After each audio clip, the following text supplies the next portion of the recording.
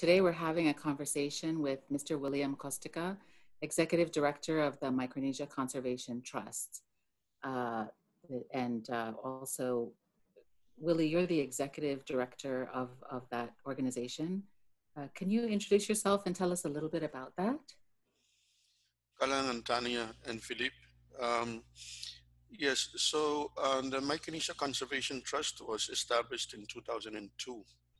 It was supposed to be an FSM organization only, uh, but then we started getting some uh, interest from the other jurisdictions, Palau, Marshalls, Guam, CNMI, and even the donors asking us if we could expand our services uh, to those other uh, jurisdictions. And um, because they were interested in um, sort of uh, the types of uh, regional collaboration that would get their, you know, the technical and financial support to a lot more communities across the region. So um, the, we then became um, more of a regional organization, expanded our board, and expanded our uh, services. And what we do is um, really we are a grant making organization. Uh, we bring in grants uh, and then we give them out to the local organizations that are doing uh, work on the ground, conservation work, fisheries work, climate adaptation work. Um, and we basically uh, uh, support them both with um, funds and or grants as well as with capacity building support that they need. So we would actually do trainings and stuff. Uh, if not us, we would get somebody else to do it for uh, those organizations. Now, so you you yourself started with a nonprofit organization, a different one, on the ground. How did you get started in environmental and conservation work? When I was at the college, the Nature Conservancy started the, their program here in Micronesia, and and they wanted me to become the deputy director to Bill Rayner, who was then the director of uh, TNC uh, Micronesia program. Uh, but after having discussions with him, we decided that maybe it would be better for me to start a large international organization instead of working, um, the both of us working for an international organization. We we thought it would be good to start a, a grassroots uh, group and so, yes, we uh, we worked with them and we founded uh, uh, Conservation Society of Pohnpei, which I ran for about seven years before uh, moving to uh, MCT. Was that one of the first uh, na- nonprofit organizations in Pohnpei, would you say, or in even in the region at that time? Um, I, there's a lot of NGOs in or civil society organizations across Micronesia. But uh, when you talk about staffed uh, and fully functioning NGOs, I think we were uh, probably uh, the second. I don't know if you remember the Pohnpei Community Action uh, Agency. Those were started by the U.S. government to channel some um, and and they existed in all the jurisdictions but I think the only ones uh, surviving now are the YAP Community Action Program and the Palau Community Action Program. I see. Uh, but the one in Pohnpei uh, sort of dissolved. So yes, we, we, we would be the, uh, the, the, first uh, fully staffed and functioning NGO. And, and at that time, what was the Pohnpei Conservation Society focused on? We were, uh, we started, our first focus was really on because they had created um, the Pohnpei Watershed Protection Act of uh, 1987 when I was a junior in high school or senior in high school, and but nobody did anything about it. Uh, it was just a paper part.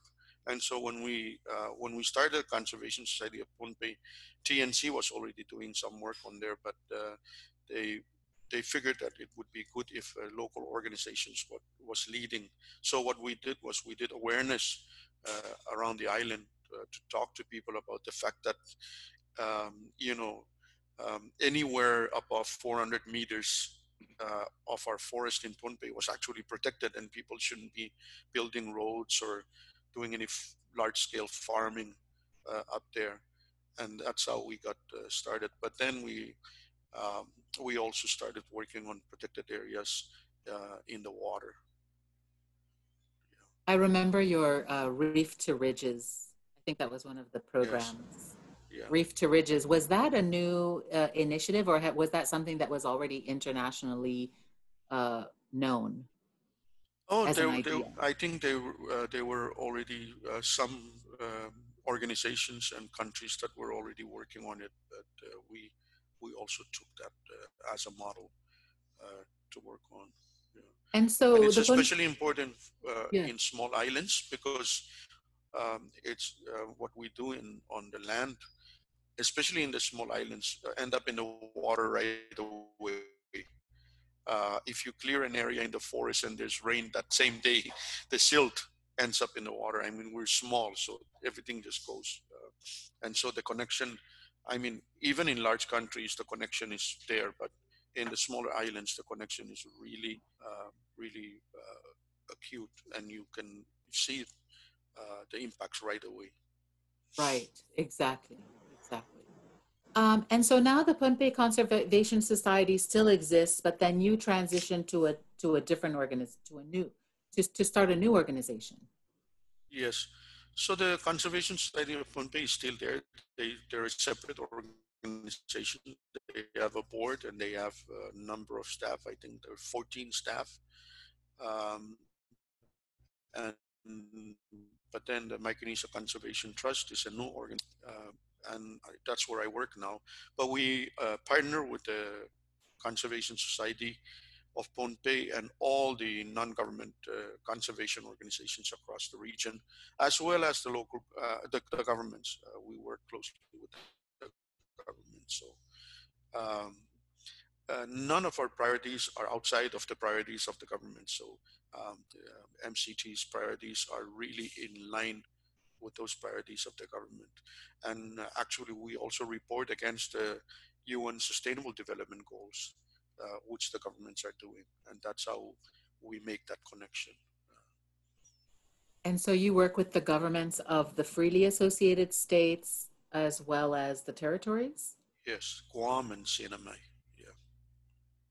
Do you work with Hawaii as well? Um, we're part of a, a, peer learning network called the Pacific uh, Islands Managed and Protected Areas Community, which is a, a co-coordinated by the MCT and NOAA. Uh, and somebody is based in Hawaii in the NOAA Fisheries uh, uh agency there who co-coordinates PIMPAC with us.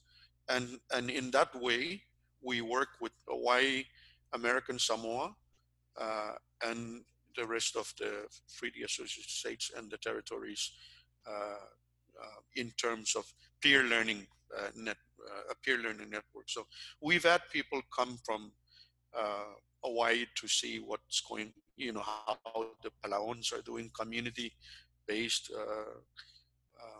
marine protected area work, and we've had people travel to uh, from here to uh, you know to Hawaii, vice versa, uh, looking at the best practices over there and uh, and learning from each other. You mentioned um, community-based uh, practices and also working with the governments. Can you talk a little bit about governments and communities and how that's different in terms of your work, or why that's important? yeah, I don't think there's, um, you know, in order for um, while the while the while the uh, the laws and the constitutions uh, mostly say that the the government has jurisdiction over the the land and the water, uh, the daily users of those areas uh, and the daily owners, you might say, are the community. So anything that we do has to be community led and community based. Uh, supported by both the government and the non-government organizations. When we when we find uh, in areas where there's no community support, you're just basically wasting your time and your money uh, working in a community that uh, uh, doesn't have any type of support. that's what you need to get first, and both the government and the NGOs recognize, you know, that we have to do that. Interesting. Is that uh, stronger in any one area, or is that pretty much prevalent throughout the, the region, the Micronesia region? Uh, well, um, because uh, we have um, places like Guam and CNMI where they've sort of don't have the uh, traditional leadership mechanisms in place anymore. Um, you know, they do have community leaders, so like the mayors and other uh, leaders who just are leaders in their own communities. We work through those, but those are a bit more difficult. It's a lot easier in places like Palau and Pohnpei and uh, and Marshalls and Chuuk, where you actually have everybody knows who the traditional leaders are, and uh, you know you can you can work with them to get to the community and uh, to the support of the community. Um, and in fact, some of our best uh, work uh, that we support is happening in Yap, where the traditional uh, leadership still is very strong, and they um, they still feel uh, or or have ownership over the reefs and the and the forests. Uh, once they decide that they want to protect those, then uh, you know those seem to be doing the best, and and that's confirmed by our technical partners like the UOG uh, University of Guam Marine Lab, who does a lot of the science uh, to support the work that we're doing uh, across Micronesia. So can you just clarify again what uh, what? So you are a grant making organization and you receive funding from from organiza- international, uh, U.S. government, all kinds of organizations. Yes. Um, remind me again what the um, the work is. What is your focus specifically in terms of what kind of NGOs you support or communities you support, yeah. groups? So, so we're supporting um, uh, communities uh, with uh, three different things. Uh, one is in conservation. So we're we're supporting the establishment of protected areas, management of those uh, fisheries regulations, and all of that. Um, watershed management. Uh, we also have a climate change arm or component of our work, cl- climate change adaptation work and and so we're helping communities build their resilience uh, uh, for dealing with the impacts of climate change and those are closely linked eh?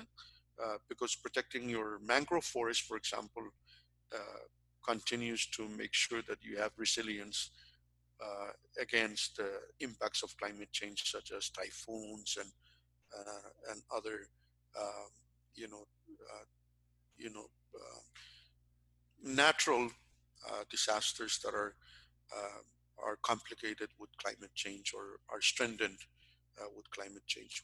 I don't know if you've seen on Facebook, but uh, some of our uh, even our causeway was underwater yesterday. Uh, part of it in Pohnpei.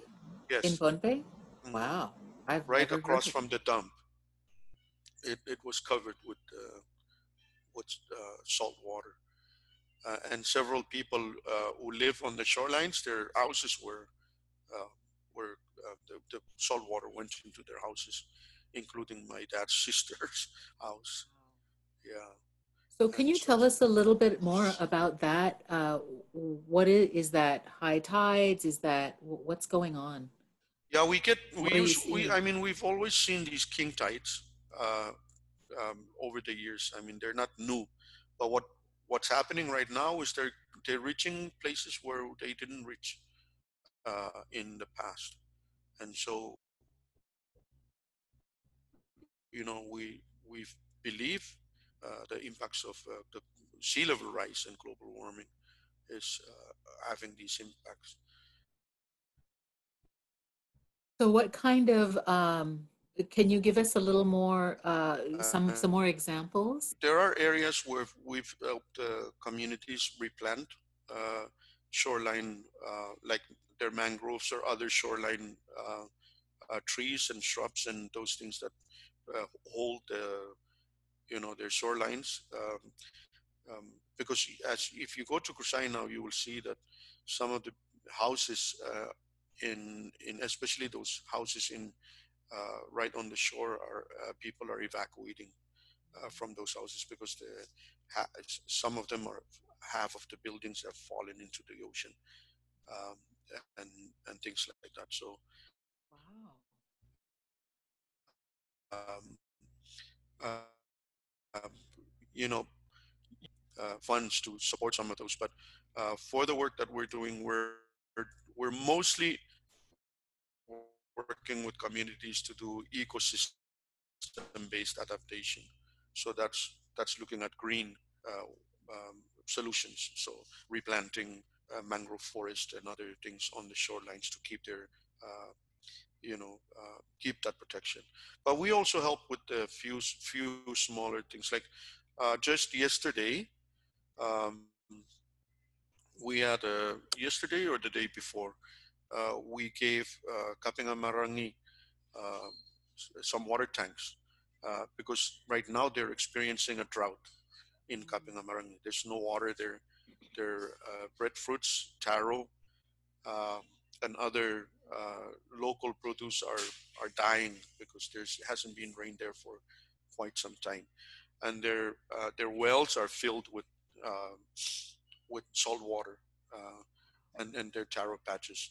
So um, you know they've the uh, Pohnpei State has taken uh, some immediate uh, stuff down uh, like uh, food items and water, uh, but MCT is more interested in the longer term solutions. So we're we're we've purchased eight large hundred 1,600 gallon water tanks to be taken down on, on the next field trip.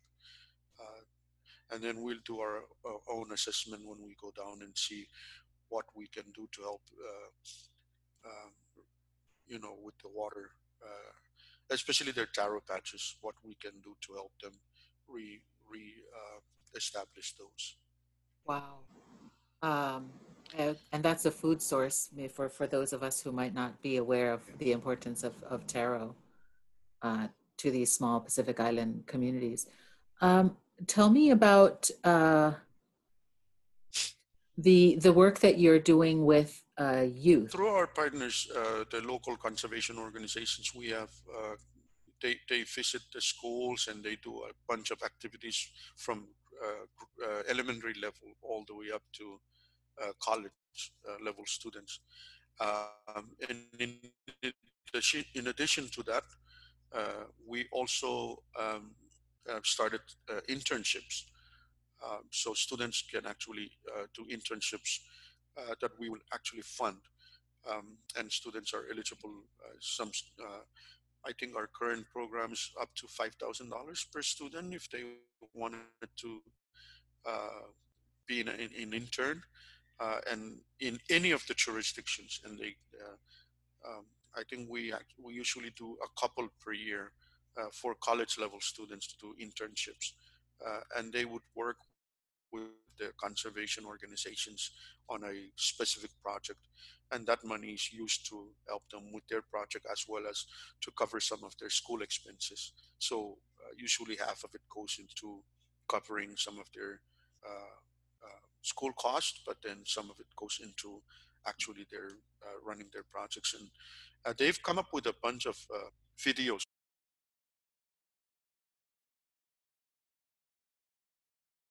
And then finally, there's the Bill Rayner uh, Micronesia Challenge uh, Scholarship, uh, and the and we also have a associate partner in Japan called the Association for the Promotion of International Cooperation, which is a private foundation in Japan that supports uh, Micronesian students to attend Sophia University, which is a Jesuit university, and they have a, a environment environment program that our students go to. And we've had three graduate from there with master's degrees, and they're back home. Uh, one is now running the Chuuk EPA, one is running MCT's capacity building program, so we hired her, wow. and then one is uh, running the Reach to Reef uh, uh program in Kosrae, and we have uh, two more there.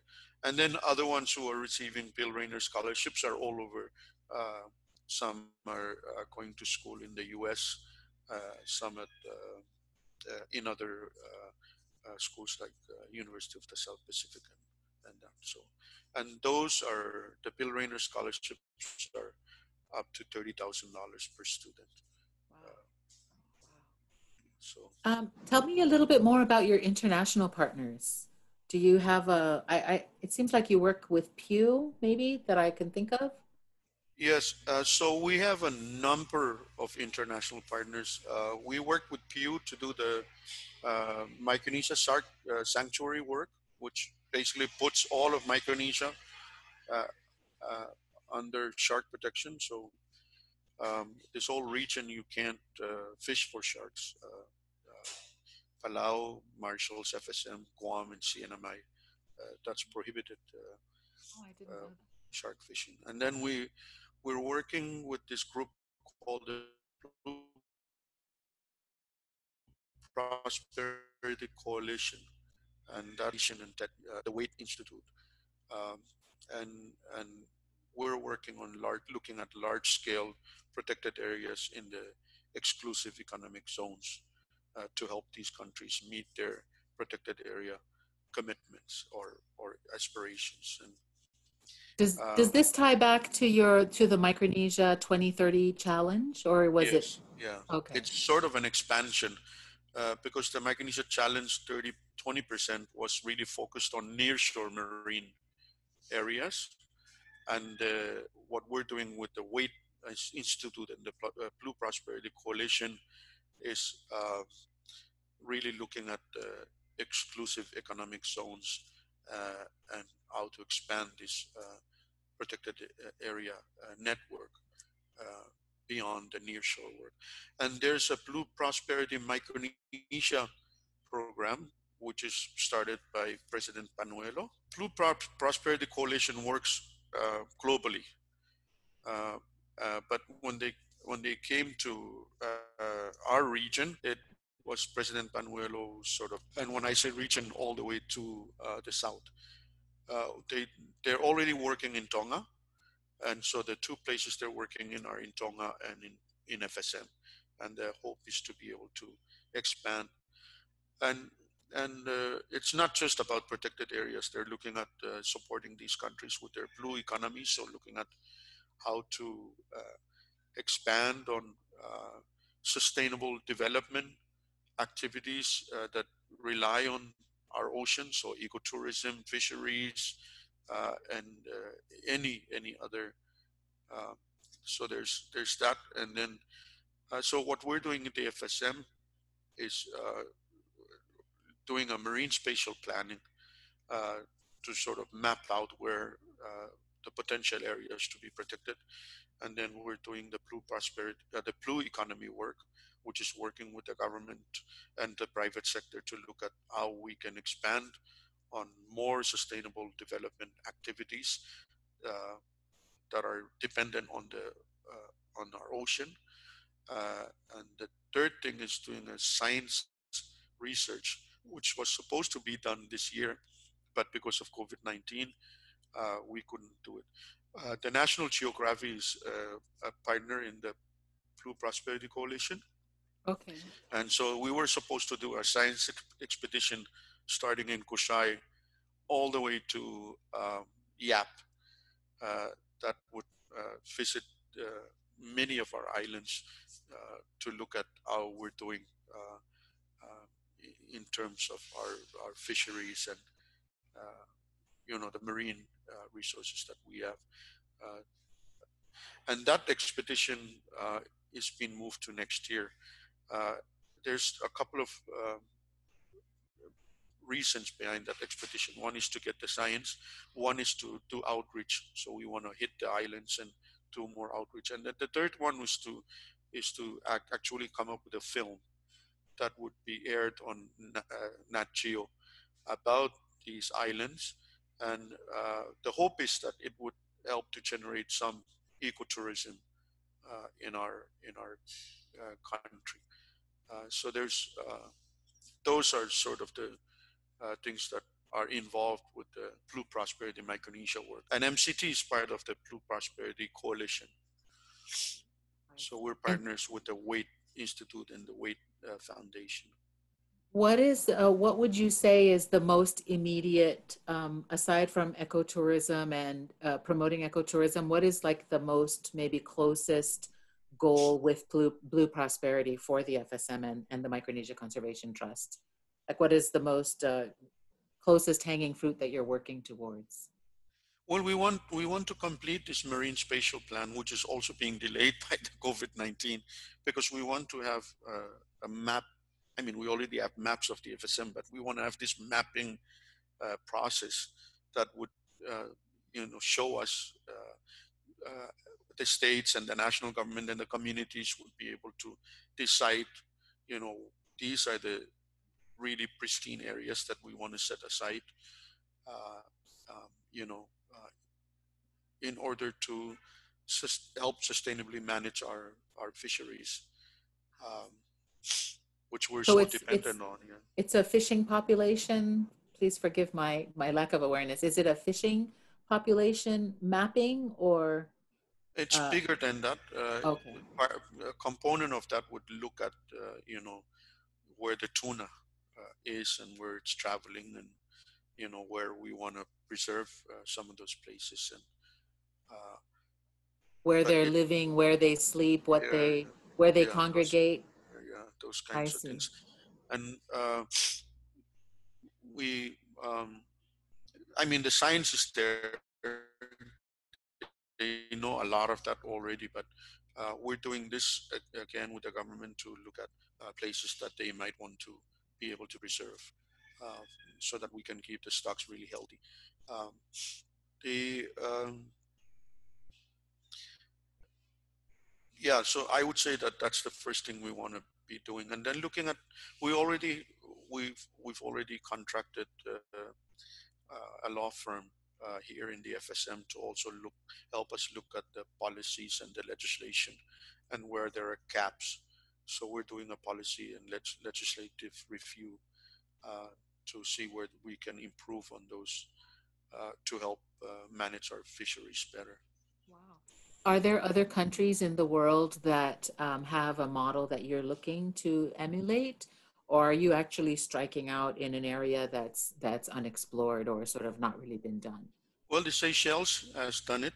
Um, and they've um, they've done a marine spatial plan for the their entire uh, country. Tonga is uh, also doing it now, and FSM wants to do it as well. So, And could you speak maybe a little bit about the history that you have with the Office of Insular Affairs? yes, thank you. So um, we've actually received uh, uh, good support from uh, uh, DOI and some of the other federal agencies, uh, NOAA and uh, the U.S. Forest Service, and um, that started uh, when um, you know we were invited to the U.S. Coral Reef Task Force uh, meetings, and we started to do our presentations and internships and the um, the capacity building work and the uh, Pacific Islands Managed and Protected Areas Community. A lot of those uh, things have been supported over the years by these grants from uh, Insular Affairs. Uh, yeah, so uh, we've had a really good relationship. I think it's been more than uh, 10 years now. Uh, Yes. Yeah, thank you for mentioning Karen Koltes. She was the first um, coral reef.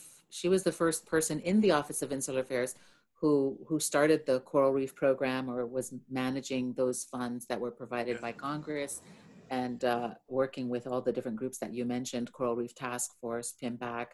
And I believe, if I remember hearing a story from you, you said that she was one of the first federal uh, federal offices to to actually fund maybe it was the Micronesia Challenge, and yes, uh, yeah.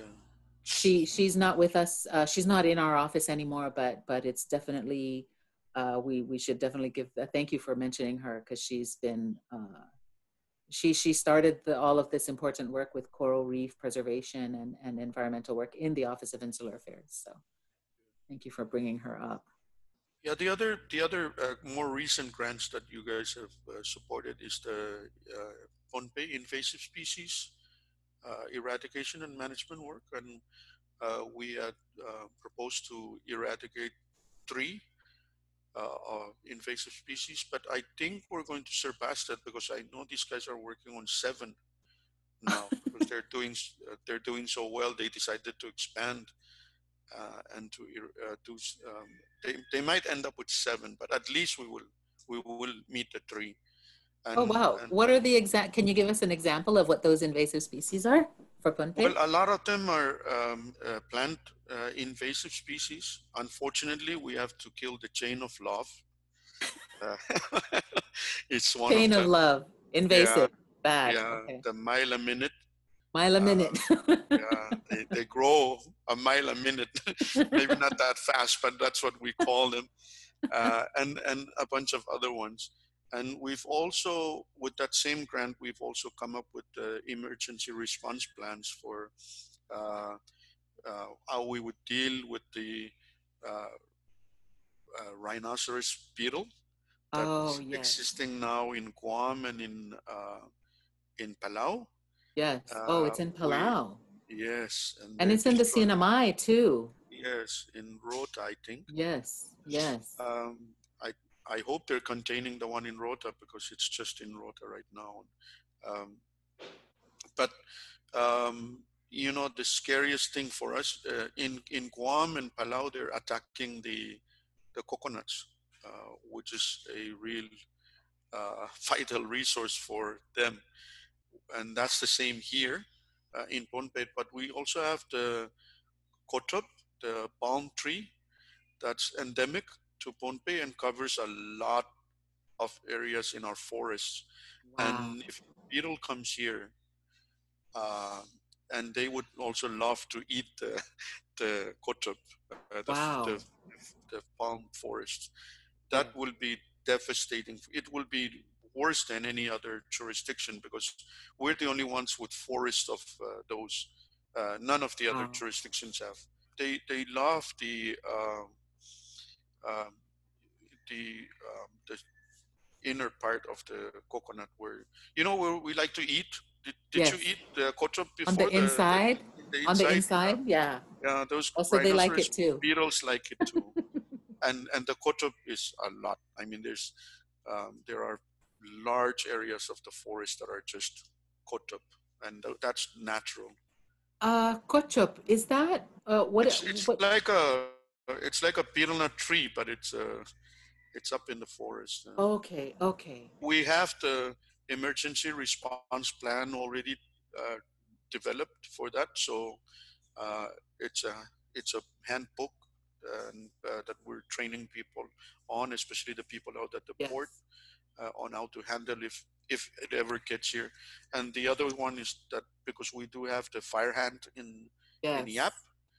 Um, we're helping them to do some of the control over there, but we also have an emergency response uh, handbook uh, in case it gets here. So, so those are the two that we've uh, used this grant from you guys to develop those two handbooks, and uh, they should be um, able to be used across Micronesia, uh, uh, especially on the islands. That so they should um, all because we already have it for Pohnpei uh, they could be replicated quickly for Yap, I mean Kosrae, Chuuk, Marshalls.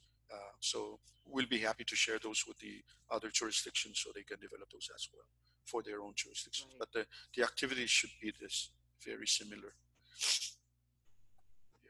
Um, you know, thank you for for for the work that you do, and and and congratulations in the instances that you have been successful in in uh, in in acquiring uh, funds from the Office of Insular Affairs. Uh, I know you the, we talked about the uh, fellowship program or the internship program, and it looks like last year uh, you were or this year you were granted uh, two hundred twelve thousand to support that. You touched br- uh, briefly on the coronavirus. Is there any any other impacts that the COVID has had on on on your work out there? Well, um, you know, we, we aren't able to uh, travel to the other jurisdictions anymore. And so some of the training that we usually do and the monitoring and evaluation work that we do on the projects is now just uh, really dependent on the reports uh, that we're getting. But, uh, you know, before we would be able to go out uh, to the other jurisdictions and conduct trainings and look at how their projects are going. And it makes a big difference when you're out there interacting with people face to face and actually seeing what's going on with the projects than just receiving the reports and doing these trainings online. That's been very difficult. Um, it's nice not to have to uh, travel and to be staying with family, uh, and a lot of work can be done, uh, can get done now because we're stuck uh, on the island. So a lot of the uh, the work that we uh, want to get done are, are are being done, but then not being able to support the other islands is is uh, it's been very challenging for us.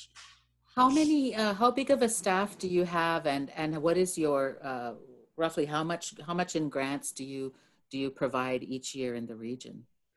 Yeah, so we have um, we have about 20 active grants that we've received, so that are uh, ongoing because we get uh, you know federal support, uh, private foundation support, not just from the U.S. but but from other areas, uh, and we do get uh, support from the larger multi uh, national agencies like the Global Environment Facility or the Green Climate Fund, Adaptation Fund. So those are uh, the UN organizations that also provide a lot of support to us. And then we have maybe about uh, 50 uh, projects that we're supporting at a time. And so we have a staff about 13. Um, I think uh, maybe 60% of those are the guys who are in the grants uh, area. So they work with the grantees and then 40% uh, are uh, on the on the admin uh, work and the fundraising and, and, and all of that. So there's 13 of us right now. Uh, we have this year our uh, approved budget was at 2.7 million dollars uh, for all the jurisdictions. And of course, we also manage the Micronesia Challenge Endowment Fund, which is about $22 million. Uh, it's an endowment fund to that goes out to the jurisdictions, yeah. Um, I, I meant to ask you about the Micronesia Challenge, just walking back a little bit. How about that? Um, how is that? Um, what was it? Was it to conserve 20, uh, 20% or was it 30% by 2020? Yeah, the 30 percent of marine nearshore marine resources by 2020 and 20 percent of the terrestrial resources by 2020. Some of the jurisdictions have managed to get there, and some are still uh, lacking behind. Uh, but yes, uh, right now our uh, our focus is really on uh, looking at whether uh, not just meeting those numbers, but whether they're actually effectively being managed because you can put places under protection in laws and on paper, uh, but you don't really know if it's actually working on the ground. So right. That's the real focus now is that we're working with the Palau International Coral Reef Center and the UOG Marine uh, Lab and the Nature Conservancy and a bunch of other uh, scientists to look at whether uh, what we're doing is actually effective. Uh, right. That makes sense. And that leads to my next question. How do you balance uh, conservation with uh, economic needs and developing economically? Yeah, so that's one of our programs. Is, uh, we have a, the third component of our uh, program is the livelihoods program. So uh, we work when we work with the communities, we're not just asking them to set aside protected areas uh, and then we leave them alone. We actually have uh, worked with them on alternative livelihoods uh, programs. So we've helped several communities set up revolving funds where they can, you know, benefit from putting uh, things under conservation. And uh, for example, uh, in my own village, we um, we when the University of Hawaii Hilo, EPA, Pohnpei, and FSM uh, the COM FSM tested all the streams around Pohnpei, they found that our, our stream in Awak was one of the most contaminated because we we raise pigs, eh? and a lot of those pig pens are on the on the streams. And so uh, we worked, uh, we we received a, a UN small grants of about fifty thousand dollars, and we helped the farmers uh, um, renovate their pig pens uh, in from being just uh, regular pig pens where you wash uh, into what's called a dry litter system. Mm. and we're using uh, chip uh, wood chips uh, in the pig pens now. When they collect them, instead of washing the pig manure into the stream, they they collect them and they turn those into natural fertilizers, which then they uh, they use to help with their own crops, but they sell the excess.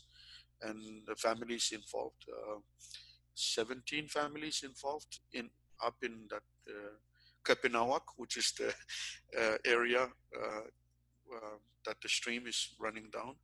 And we've cleaned up that stream to be one of the cleanest in Pohnpei right now. Wow. Uh, so we, we solved the environment problem, but we also now the peop, uh, the farmers are selling this uh, natural fertilizer to other people are, uh, around Pohnpei, and they're using those fertilizers to. For And you're still able to raise your pigs for all of those important uh, traditional functions. function.